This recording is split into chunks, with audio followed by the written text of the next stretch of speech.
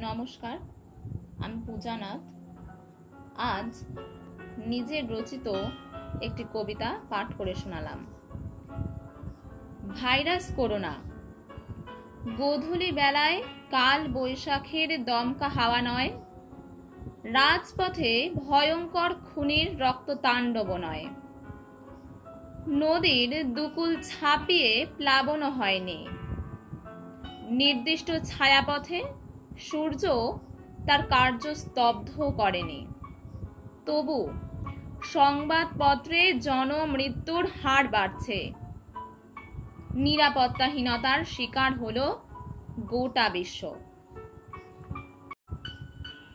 ধনতন্ত্র, সমাজতন্ত্র, গণতন্ত্র বা প্রজাতন্ত্র, রাষ্ট্র যাই হোক না কেন, সবার এখন একটাই সন্ত্রাস। Corona virus. তবে